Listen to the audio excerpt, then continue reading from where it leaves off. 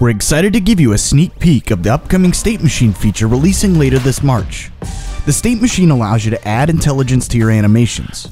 You can create interactive UI, like animated buttons or pull to refresh animations, smart sequences, like onboarding animations, or you can build full blown game characters.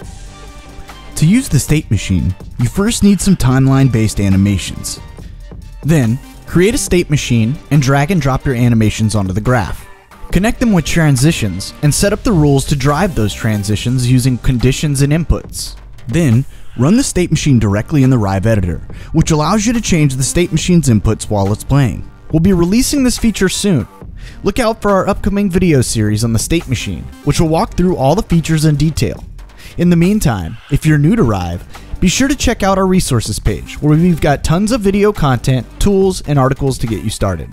We can't wait to get the state machine in your hands and see what you create with it.